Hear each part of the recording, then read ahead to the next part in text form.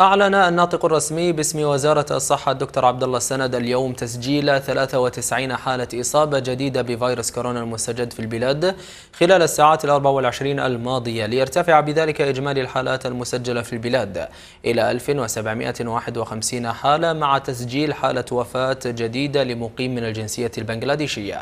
وقال السند في البيان الصحفي اليوم إن الحالات المخالطة لحالات تأكدت إصابتها بالمرض بلغ عددها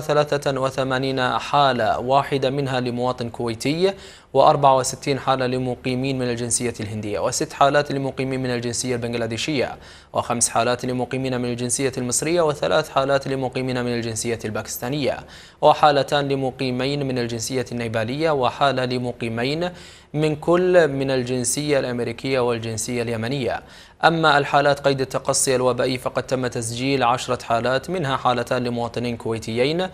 وحالتان لمقيمين من الجنسية الأردنية وحالتان لمقيمين من الجنسية الفلبينية وحالة لمقيمين من كل من الجنسية العمانية والمصرية والأفغانية والسورية.